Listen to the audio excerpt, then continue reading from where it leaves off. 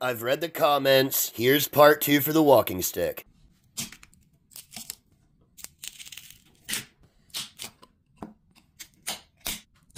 Now it's time to give this baby some shape. Speaking of shape, I've got JJ from Watai Woodturning helping me out. Watching this thing spin up to 2200 RPM is a treat. First step is getting the bottom to size so that the tip will fit on correctly. Once you do that, the rest is just shape, shape, shape, shape, shape, shape, shape that wood up. It's like waves in the ocean that you can't surf on, man. You can still enjoy the ride, man.